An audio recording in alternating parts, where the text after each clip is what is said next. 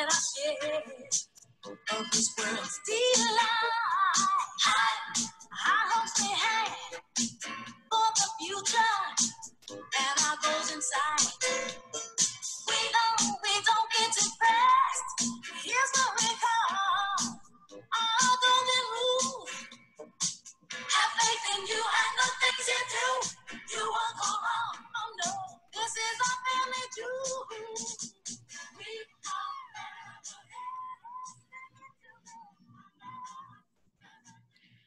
Good afternoon, everyone. We'll begin in just one moment.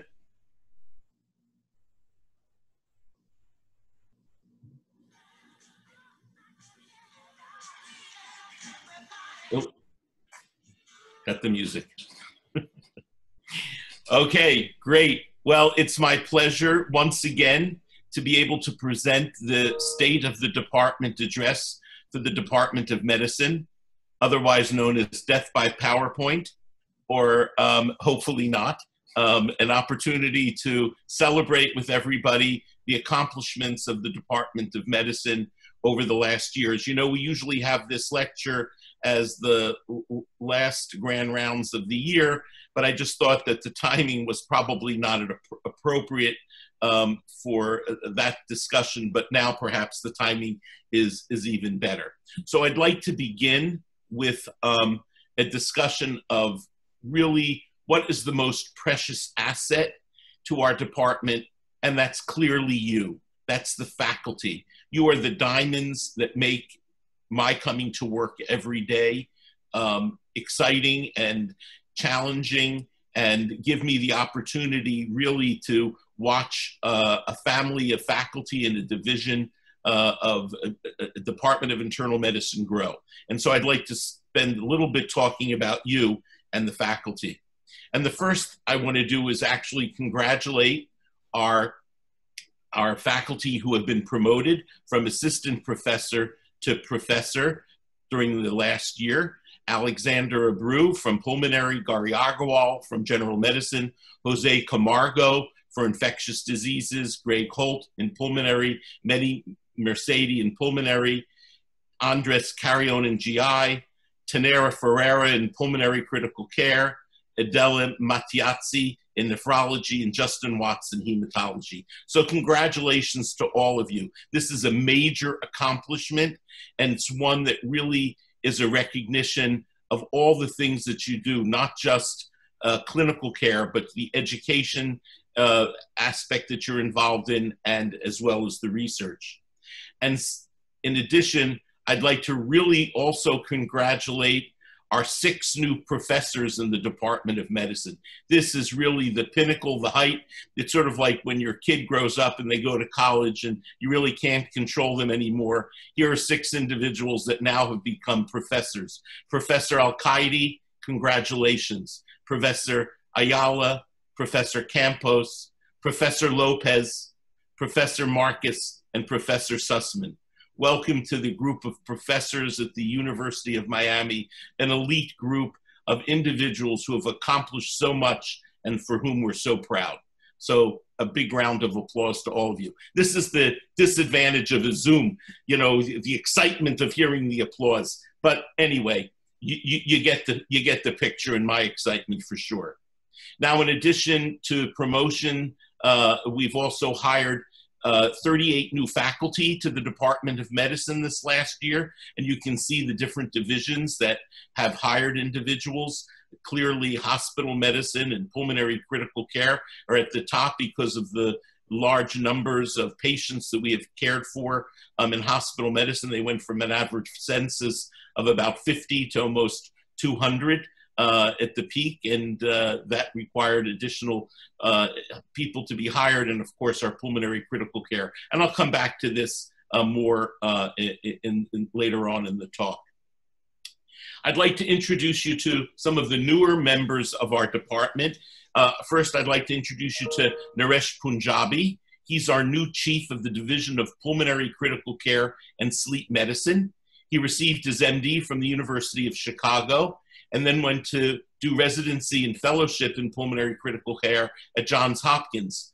He remained there until approximately two days ago, where there he was professor of medicine at Johns Hopkins, and he's been now here on our faculty for two days. He's had seven R01s and 170 publications. He currently has one R01 and a U34, and he's editor in chief of the journal Sleep. He's a leading expert on the role of sleep disordered breathing and metabolic disturbances and has already developed the internuncial neurons that are necessary for relating many of our divisions and interdepartmental interdepartmental actions to deal with sleep as it and pulmonary medicine as it touches on many many other uh, subject matters. At that's at this time, I also want to thank an extraordinary individual, Alejandro Chediak, who had been the interim chief for the last two years. Alex has been an amazing force in uniting a division during a time of transition and certainly during the time of uh, our current pandemic, and has really led it in an admirable way. Uh, and has earned the respect of not only his peers, but everybody in the university, as well as his national reputation. I'm pleased to say that Alex will remain on as the vice chief for clinical affairs in that division. I also want to introduce you to the new chief who will be coming later this year, to Dr. Mikkael Sekeres for the, uh, the Division of Hematology. Mikkael got his MD from the University of Pennsylvania and then went to Harvard for his residency and fellowship. Most recently, he's been a professor of medicine at the Cleveland Clinic in Ohio and is director of the leukemia program there. He's a leading expert on the role of genetics in myelodysplastic dysplastic syndrome and its treatment. He's headed over 60 clinical trials, has over 350 publications. And in addition to his prowess as a scientist, he's not only a writer for the New York Times, but you must read his book, When Blood Breaks Down Life Lessons from Leukemia. This will give you a sense as to what a mensch this guy is. He describes in a very sympathetic, empathetic, educational way the plight of three patients who have leukemia. Read it. It's really interesting and gives you a bird's eye view of what type of individual Mikkael is. This wouldn't have been possible without our strong partnership with Sylvester, who the year before became uh, an, an NCI designated cancer center.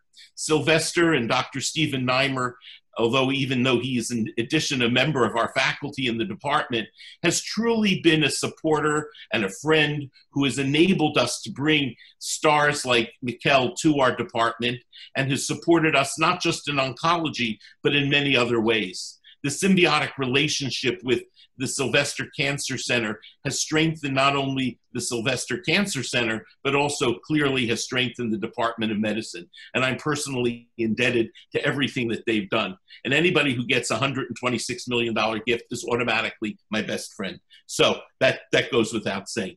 But I would be remiss not to recognize with significance the outgoing leadership of Dr. Joseph Rosenblatt. He was chief of the division for 19 years. He actually built hematology oncology here at the University of Miami in a way that no one would ever have understood 20 years ago when he came here from the University of Rochester. He's been a major force and is an icon here at the University of Miami. He will remain in the division and the department doing his research and taking care of patients and will always be a trusted colleague. And we're grateful that he has turned over the reins now to Dr. Sekeres. We'll just briefly talk at this point about some of the clinical accomplishments that we had and then come back to them towards the end of the talk as well. First of all, the total number of outpatient visits continues to increase as well as the new patient visits compared year to year from FY 18, 19, and 20. The orange bar represents the new patient visits and the blue bar represents the total visits.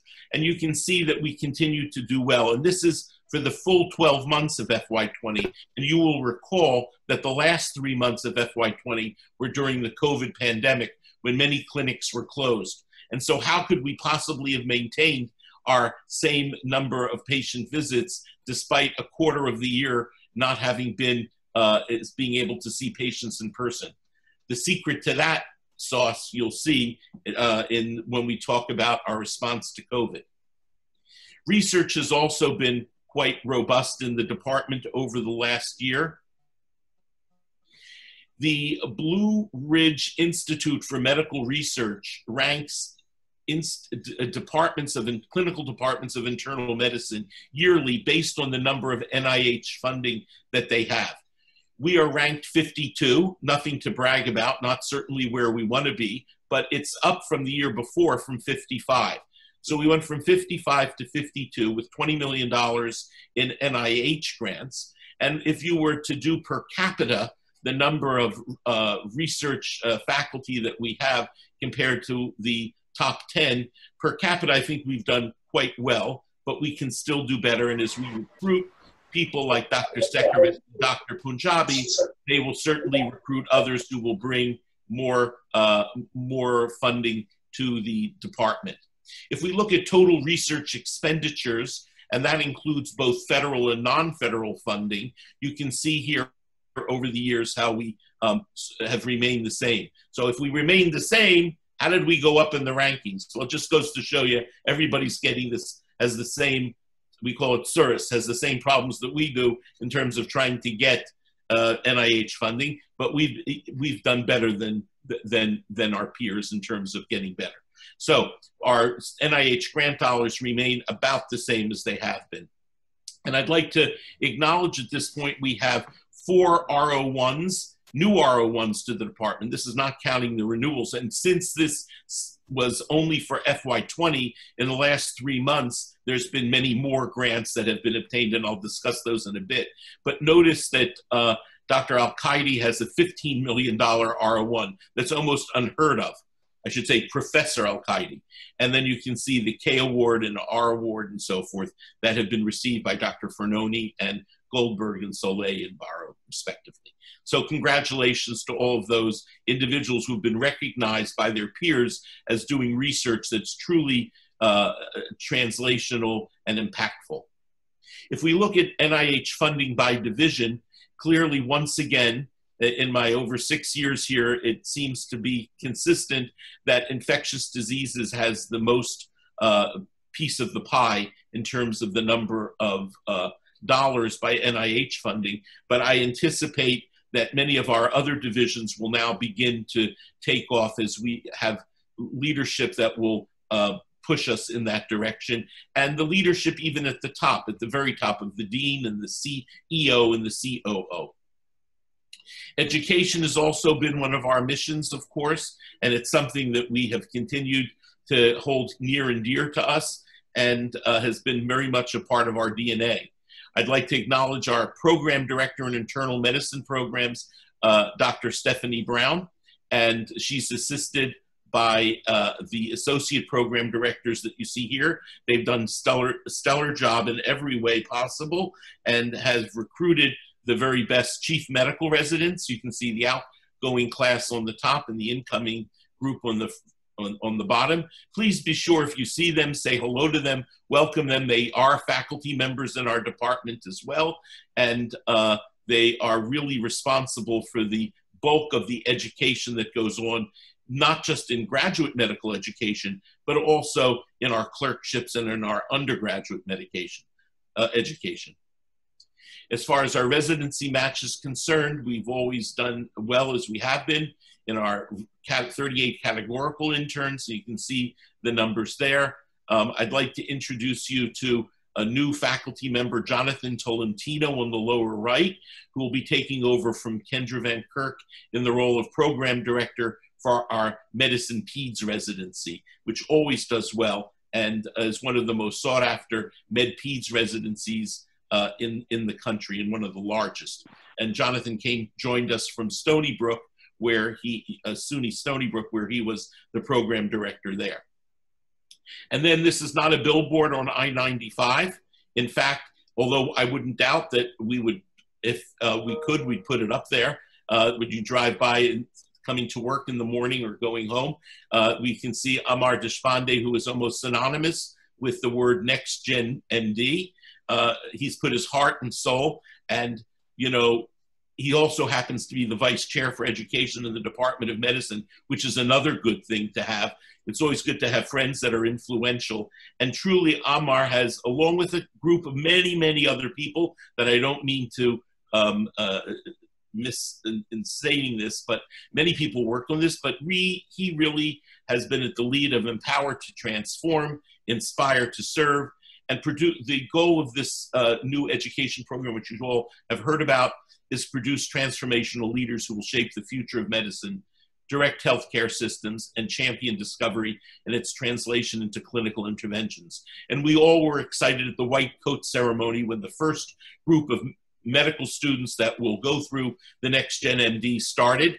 And uh, it'll be great to see four years from now how Dr. Deshpande and his team have really transformed the next generation of physicians. And we're glad to be part of it in the Department of Medicine because most of the individuals that are involved in the teaching come from our ranks. And a special thank you to Dr. Maureen Lowry, who served an admirably 12 years as internal medicine clerkship director and psychologist and mother to all the medical students that have been, been through our clerkship. It, um, she has gone now to become our vice chair for appointments and promotions, and uh, we're glad to see that uh, Mo is, has uh, really dedicated her life essentially to our students, and now will will dedicate this this phase of her life to our uh, faculty in the appointments and promotion phase. So thank you, Mo. And then just a brief word on the finances and how we're doing uh, as with all things considered. I'd like to share with you this, uh, this slide and these numbers. So these are our finances for FY20 that just ended in May. You can see that it's divided into the revenues on the left, expenses, and then the difference between the revenues and expenses. And so if you look, the first column is actual, and then the second one is what we budgeted, and the third is what the difference was, the variance between the actual and the budgeted. So we had about 131 million dollars in revenue in the department, and we had uh, we had planned to have 141.1 million dollars. Um, recall this is during the, um, which we did not anticipate during the um, COVID crisis and so forth. And uh, so that, and certain hires that we expected to have didn't necessarily come. Uh, and uh, because of COVID and so forth, and didn't realize all the clinical revenue that we could. So we're about $10 million short of the expected revenues. And our expenses, however, we anticipated that we would spend about 163.8 million, and we ended up spending about 153.2. So it was a 10 million, 10.5 million dollar uh, positive variance in that regard.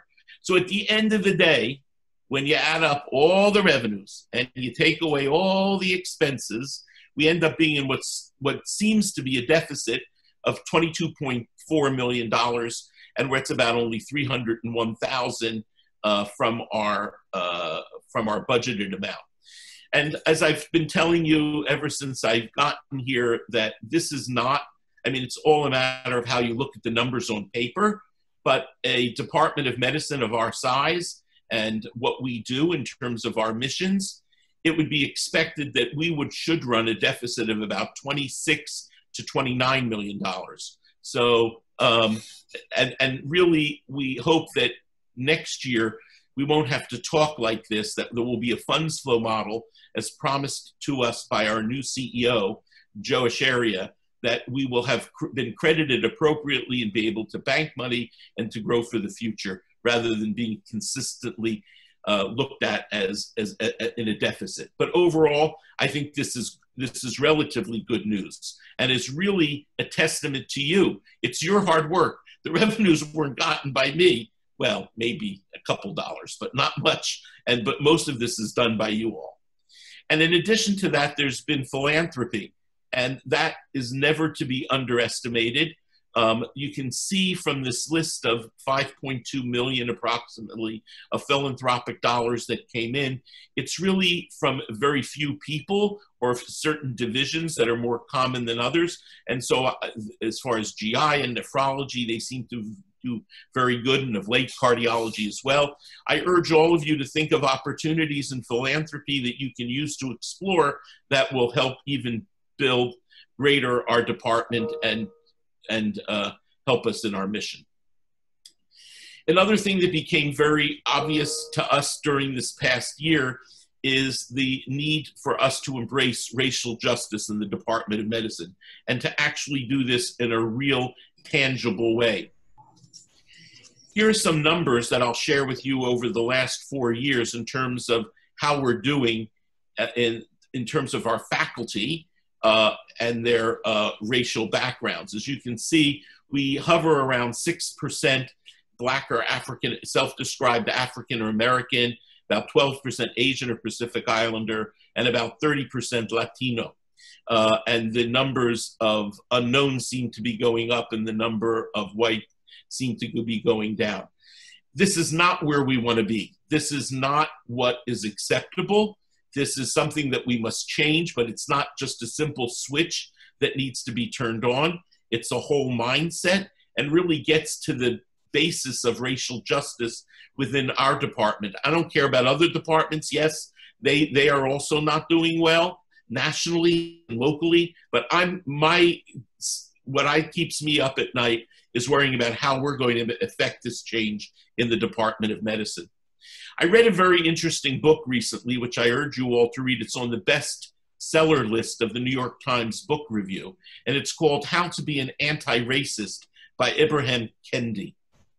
Being an anti racist, he says, requires persistent self awareness, constant self criticism, and regular self examination. Well, to that end, and I'm not saying that's the extent of that we've done all of that. You will recall that we were probably the first department at the University of Miami in response to the George Floyd killing to have a dedicated grand rounds to um, to being anti-racist. And part of the homework from that grand rounds was that I asked all of you to submit to me a real action that you will do that will not just talk about getting rid of racism, but something that will actually be be be be re- realistic and get rid of racism. Just this is okay. So here are some. I left it anonymous, um, and I couldn't include everybody because we had really a wonderful um, response to this uh, homework assignment. So let me just read you some of them because I think they're inspiring in their own way. I will be more rigorous in my research of local elected officials prior to voting, now having a clearer understanding of the impact of those officials on local policing and criminal justice. Another said, calling out colleagues when I witness discriminatory comments or actions rather than letting them slide. Invest in a good social history when I admit patients, the first time I meet them, to better understand their context being to build trust right away and develop plans in light of their situation. Keep myself and others accountable. Like I have heard these past few days, it is not enough to be a racist, but we, um, not enough not to be racist, but we must be anti racist, as if that person already had read that book. My resolution to really ensure that I'm enforcing the highest standard of care for these patients. I will do my best to encourage more African American students to be admitted to the Miller School of Medicine as a member of the admissions committee. These are all wonderful, and there are many more like this. Acting on these pledges will truly make a difference and move the needle. Say no to racism. In addition to that, the dean, sorry, the dean has um, formed a committee, the, the University of Miami Miller School of Medicine Racial Justice Committee, with very with multiple subcommittees. Here you see a list of all the individuals from the Department of Medicine who have volunteered to serve on the various subcommittees. The individuals highlighted in yellow indicate that they've taken on the responsibility to chair these subcommittees. I urge all of you, it's not too late to sign up. You can write to me or the dean, Dean Ford, and he'd be happy to accommodate you on any of these committees. The activities are ongoing right now, and there hopefully will be uh, action taken uh, before the end of the calendar year. So at this point, I'd like to come to the uh, part of the talk where we talk about the resiliency and the beauty of the faculty in the Department of Medicine, reminding me of a quote by Albert Einstein that in the middle of difficulty lies opportunity. So, what, what possibly good can come out of the, the pandemic? How could the COVID 19 pandemic make the Department of Medicine stronger? I'd like to present to you that in three areas, at least, we have shown the strength of making our department better as a result of the pandemic, whether it's clinical operations, research, or education. When it comes to clinical operations, take a look at this data for just a second. You'll see a bar graph of the total number of visits seen in our clinics in March prior to the pandemic, then in April, and then in May. And the orange line represents the number of telehealth visits. So, of the telehealth visits that we had over about, uh, rather, total visits of about 16,000 that we had in March, 11% were telehealth visits. We were just putting our toes in the water, we were just dabbling. But in April, when push came to shove, this faculty showed its ability to be truly resilient stepped up to the plate. Zoom wasn't working. We didn't know where to find the how to put the meds in. All of a sudden, there was no nurse to do the past medical history. But we made we exceeded in April and in May our baseline of the total number of visits by ramping up our telemedicine visits to 91% in April. It dropped a little bit in May, but nonetheless, it remained quite high. And this has been sustained even in June, July, and this previous month, August, where you can see we've maintained about 60% of our total visits remain telehealth.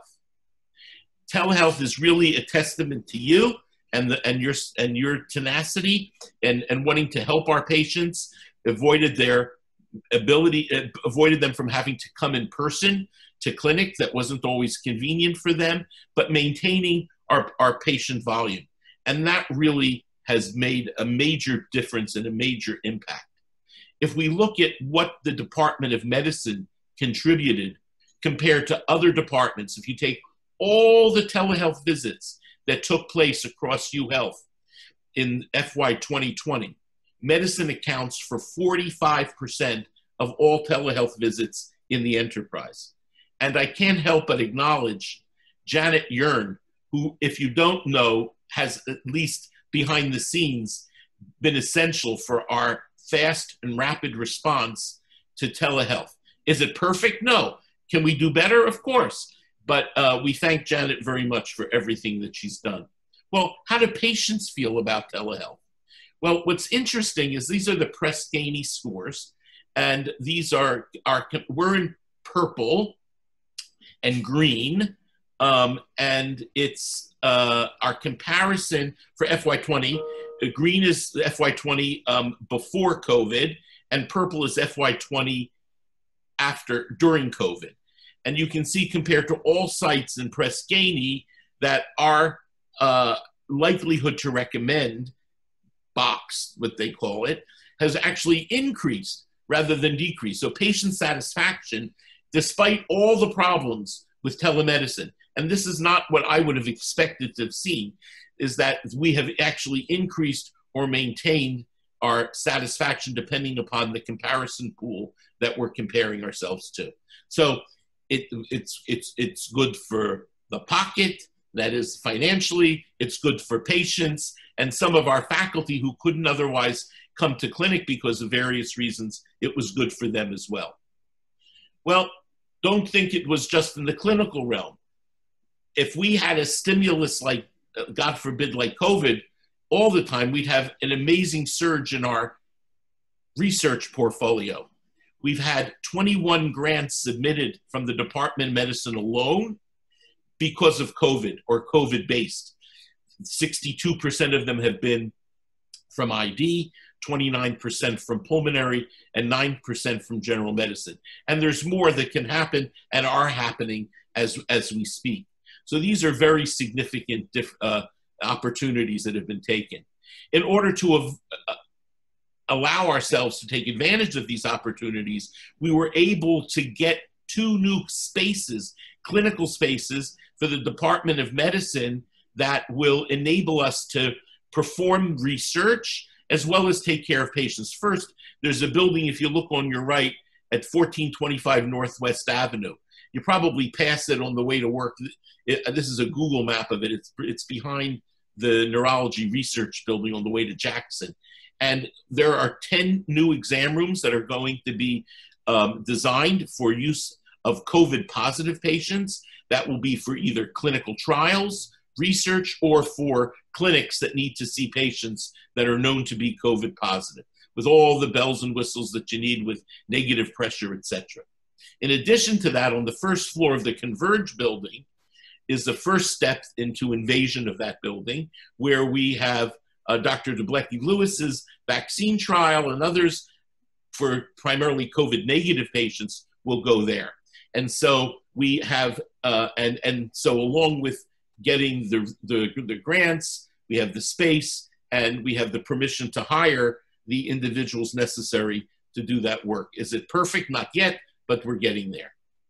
And then what comes out of research, not just grants, but the dissemination of new knowledge that is really designed to um, make sure that we uh, perpetuate our findings and what we do. And I'm not going to go into a lot of details, but cardiology has, uh, here are six papers of cardiology just um, published in the last couple of months related to COVID. Uh, GI, digestive diseases, they have eight. Uh, endocrinology, looking at uh, anything from diabetes to uh, drugs that affect response to COVID, six, general internal medicine, hematology, infectious diseases, and medical oncology. All are involved in um, the uh, in the dissemination of new knowledge that emanate here from the University of Miami. In addition, nephrology and of course pulmonary critical care and sleep medicine. In addition, there, be, there were silver linings in our educational mission. We learned how to adapt our pedagogy for undergraduate medical education to the point where we were able to do online learning. We were able to do OSCEs and test people's clinical diagnostic skills based on, uh, based on telemedicine. Our graduate medical education program has, uh, was also uh, redesigned uh, relatively quickly, not only to provide uh, the, the, appropriate education that we need to provide our residents, but also to provide um, coverage at, at, Jackson and UMH uh, and the VA when needed. And we'll talk a little bit more about that in a minute. Um, and then uh, CME. Well, you know, grand rounds on a good day, we were lucky to get uh, 50 to 75 people show up, and three or four would look at it online. But with the advent of Zoom, uh, we have over 150 people coming to Grand Rounds. And I promise you all that Grand Rounds this coming year will be absolutely stupendous. As a matter of fact, I had it confirmed that Mario Stevenson has gotten Tony Fauci, who will be talking at Grand Rounds later this year, and we all look forward to that. So, overall, in terms of our education, our efforts have really shown our ability to deliver medical education in these unprecedented times. And lastly, and this is what I want to spend a little bit of time talking about, is the so called intangible effect that the pandemic had on our unity as a department of medicine. And it's not just faculty. And it's not just our residents and our learners and our fellows, but our staff as well.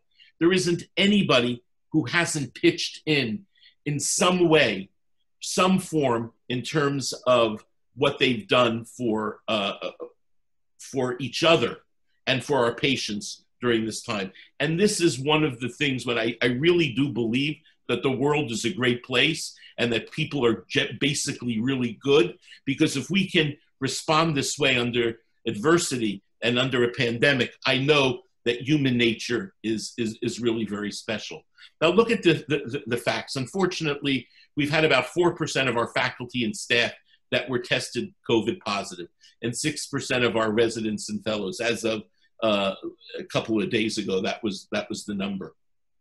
In order to accommodate these faculty and staff, many of whom were not symptomatic but needed to go into isolation or quarantine, there was an amazing response. Faculty volunteered to cover the hospitalists team and the critical care units. In addition, hospitalist teams were created and staffed by moonlighting. And faculty covered for colleagues who couldn't participate in direct con contact, direct care contact, whether it was on a consult service or in clinic. And not just our faculty, but in response to the increased demand for workforce needs in testing, 80 of our staff had been reassigned in order to help with the general university staff. I can't underestimate it. Whether it's our intensivists that were standing on their feet for four days in a row for 12 hours or more and did it without a day off, or whether it was our hospitalists that took care of more patients, or our hemonc doctors that continued to care for patients and administer life-saving chemotherapy to a level that was even greater than it was before, our palliative care doctors, our cardiologists that went above and beyond, our gastroenterologists that came in on weekends in order to scope people that needed to have procedures done, um, our general medicine people that covered at Jackson and, and as well as our ICU people that covered and ran Jackson, our ID people without whom we wouldn't have made, we couldn't, remdesivir, not remdesivir, tocilizumab, oh, it's out, hydroxychloroquine, oh my gosh, without the ID people, who we wouldn't, we would have been in the dark. So it's amazing how much, there, and if I left out a division, it's rheumatology. Even they helped. Everybody came together. And if I left out the heme and onc and cell therapy and all of them together, I think I got you all. If I didn't, it was not because you didn't help. It's because I might have just had a, had a moment of, of memory lapse. So, in addition to all those people, there are three people who I just want to mention because I think we all know who they are. But it would be remiss as us, of us as a Department of Medicine without whom we really couldn't have survived. Because when you think about our hospital, our hospital really fuels much of what we do. And Tanira Ferreira, I don't know if you're listening, but I love you. You're terrific. You're, you're, you're a leader. You're great. Kim Manny, a close friend who is the CEO of UHealth Tower, been absolutely amazing. And Bavarth, although I rarely see you without your mask, it's good to see what your face looks like. And I know how essential you have been day and night dealing with questions and people. So we all all three of you as well as everyone else. A great deal of, of thanks and respect. So again, not to belabor the point, but you can see here on the left, Dr. Mauricio Cohn and, and Dr. Panakos treating a COVID patient with a PE in full PPE. So a PE and PPE for a COVID patient. We, everything was done. Dr. Abreu I don't know which, I can guess she's the one on the right as we look at it, and Dr. Kata getting ready to scope somebody in GI. Here are more heroes, whether they're uh, uh, individuals, Dr. Callie and Fatty from hospice and palliative medicine, and Dr. Lichtenberger filming an educational video, and Dr. Carolyn Elston, one of our nurse practitioners from medical oncology. You are all resilient and terrific. In addition, we have on the upper right our hepatologist, Pat Jones, and Carol Cottrell in the background, and uh, Olvin on the left with his team at Jackson, and our cellular therapy team on the lower right and our nurse practitioners, Blanco Ramirez, Vaquero, and Emokape. So without you, none of this would have been possible, not at all. So thank you, all of you. You have been an amazing group of colleagues and friends during these very, very rough times. So we've had some that have retired, and I want to pay respect to those individuals. Horst Baier, who's been a, a, a pillar of our uh, pulmonary uh, and critical care team. He still, although he says he's retired, he still comes in and does shifts, but um, he's clearly a valuable colleague and will always be so. And Matt Cooten, who retired, he was the head of the uh, associate CMO at the VA for medicine, close friend in the Department of Medicine, and of course, very involved in ID. So we'll uh, we respect their need to wanting to retire. We'll miss them, but we'll always be be thinking of them. And um, not to imply anything about the juxtaposition of the retirees and the people that um, that were that left us this year uh, in another way. Uh, Dr. Jeffers, who you all recall, was a uh, prominent uh, hepatologist that was uh, in our VA practice for many years and Dr. Mintz, who was a former chair of the Department of Medicine, was uh, also passed away this year. So we remember them fondly and, and have only good memories of them. And, and lastly, I want to point out a very, very close friend and faculty member of the Department of Medicine, Dr. Seifi. Dr. Seifi died, unfortunately, a few months ago from complications of COVID. And um, was truly not only a, a, an inspiration as a doctor and an individual who provided an example of how it is to be so-called old-fashioned doctor, listening to the patient, going in at night and seeing them in the hospital, not un, not under, not appreciating boundaries between oh you're my clinic patient, you're calling me after five o'clock. I'm sorry I can't answer your call until tomorrow. This he was truly a doctor's doctor and it was really a, a, a pleasure have uh, known Dr. Seifi. In addition to that, he has been the benefactor to our research day, and his endowment, to which the research day remains named after, is all thanks to Dr. Safi. So thank you very much, Gene. We miss you, and uh, we wish you and your family uh, peace. And now comes the uh, opportunity where, after everyone deserves an award, because if I didn't mention you by name telepathically, I give you all an award. But we still have the tradition for the for many last several years of giving out different awards. So although I can't um, give you a plaque, you'll get a plaque, and um, I'll ask you to stand up wherever you are because you should know people are applauding you when your name is announced. So the first award is the Schally Research Award. God bless Dr. Schally. I don't even know how old he is, but he is our only Nobel Prize winner at the University of Miami. He's been a real friend of the Department of Medicine. He's still actively publishing, and I tell you, he's still doing research because I have to constantly sign off on agreements for him to continue to do his research. He's an inspiration for everybody that there's no such thing as being uh, uh, uh, being in the business too long that you can't continue to do research. And so we've named our research award after Dr. Schally. In 2018, Josh Hare won it. And last year, Pat Jones and Alessia Fornoni uh, won it. And this year, in 2020, the Schally Research Award goes to Professor Alcaide and Professor Losos.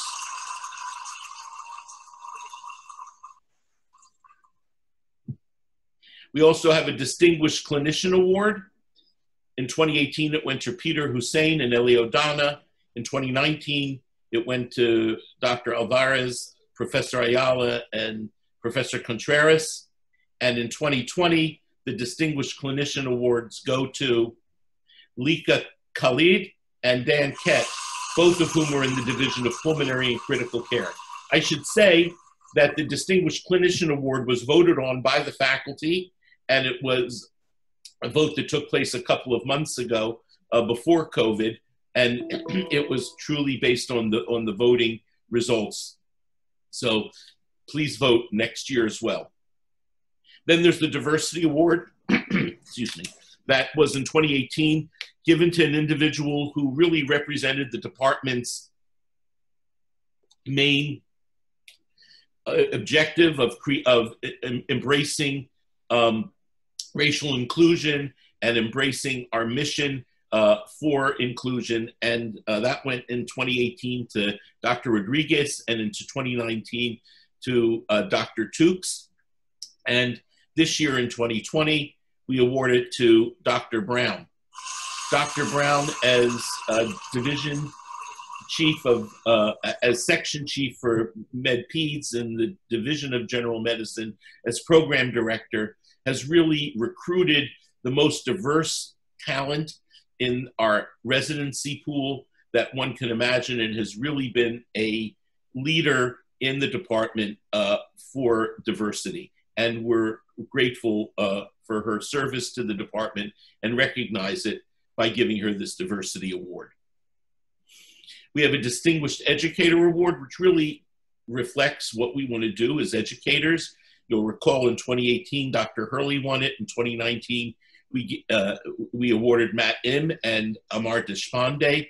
And in 2020, the Distinguished Educator Award goes to Michael Dayal from the Department of Cardiology for Division of Cardiology for all that he has done uh, in developing the curriculum for cardiology and teaching the students, and Dr. Daniel Lichtstein, who has been a longtime member of the Department of Medicine and has really been the major educator at our satellite programs up at JFK. Uh, and uh, we are grateful for all that he has done for the department and really emulate uh, both of these fine individuals as uh, terrific educators for the, in the Department of Medicine. And lastly, an award that was established by Dr. Jamie Barkin and Dr. Rogers, both have, who happen to be gastroenter- gastroenterologists, but endowed the name of this, um, this uh, award uh, for outstanding mentorship. Someone who has really made a difference in the lives by training younger faculty to reach their fuller potential. And in 2018, it was Dr. Michael Kolber, and we were pleased that uh, Dean Gardner got it in 2019. And this year in 2020, the award is given to Dr. Alessia Fornoni for the many roles that she has here at the university in the uh, directorship of the physician scientist program, as well as in the Katz Center for uh, Nephrology and Hypertension and the Katz Center for Drug Discovery, and all the individuals that she has trained.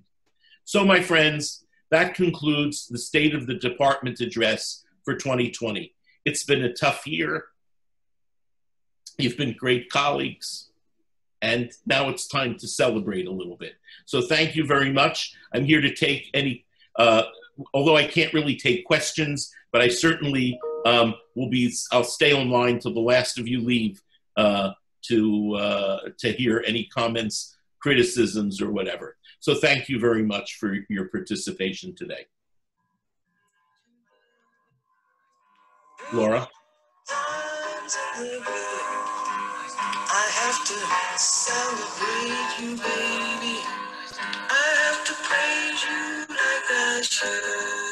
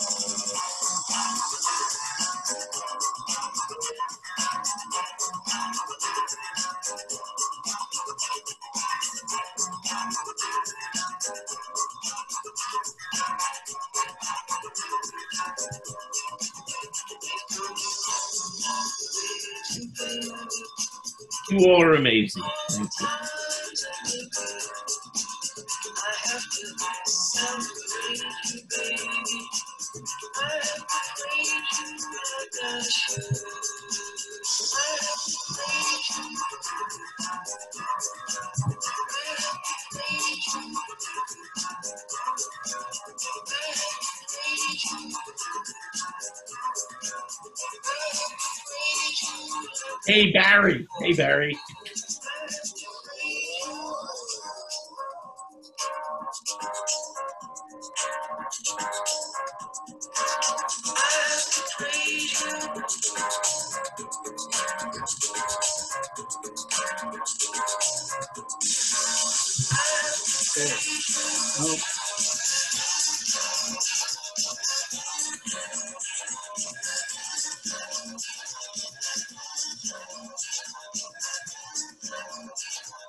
Bertho, you're a good friend. Thank you for staying.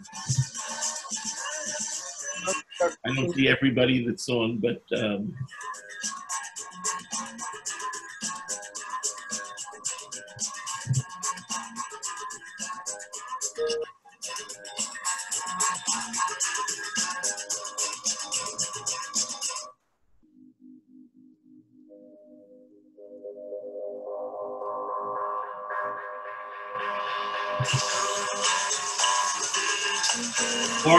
thank you. I wish we could dance. We could have salty donut something. Love the music. praise you like I should. All right. You're all the best. Thank you. Thank you for your support. We should, God willing, do this again next year with a better, more strong message of unity and everything else. Great job, Dr. Wise. Thank you. Thank you. Will you save the chat so I can read it um, later because I couldn't see it during the uh, thing? Will do. Okay. Thank Bye, you. everyone. Thank you so much. Thanks, Heal It. Be well. Hi, Dr. Matterson. Glory, thank you.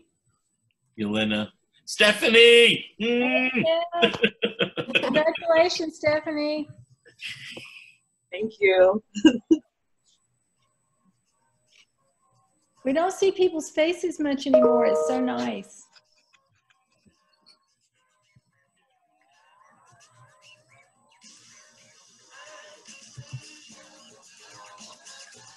All right. So, do you recognize the um, song, Steph? Yes, I'm impressed by the soundtrack. Okay, I I I didn't choose the music. I must say that was Laura, but the first song I agreed to, the opening number. The second number I never heard before It was good. It was very appropriate. Good. All right, everyone. Have a lovely day. Be safe, and we'll see you next. Oh, I forgot to announce next right week is Grand Rounds again. All right, but people will know. Yeah, we'll send out an email. Okay, great. Oh, you're going to Shalom. Okay, good. Bye, everybody. Thank you, thank you. Oh.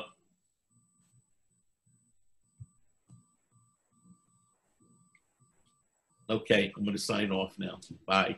Bye.